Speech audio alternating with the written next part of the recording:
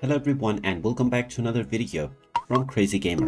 In this video, I'm going to show you how to sign up and create a new account on the Warface game. So let's get started right away. First of all, open up your web browser and then in the address bar type in pc.wfclutch.com and then press enter. You will now be taken into the official website for Warface Clutch game. Now you will see the sign up button at the top right corner which you can click on and this will take you into the sign up page. Now if you already have a Steam or Epic Games account, it is recommended that you use these accounts in order to sign up.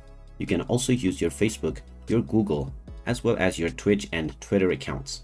Now just type in your email address that you wish to use to create your account. After typing in your email address, type in the password that you wish to set for your account. Click on the checkbox to agree with the terms and conditions, and then click on sign up. You will now be taken into the account creation page. Click on continue, and now you have been signed up. Make sure to check the inbox of the email address that you used to register in order to find any verification link that you will need to click on to verify your account. And there you have it. That is how easy it is to sign up and create a new account on the Warface game. If you find this video helpful, make sure you hit that like button and subscribe to our channel if you haven't done so already. Also ring that notification bell to never miss another update from us. Thank you for watching and I will see you again in the next video.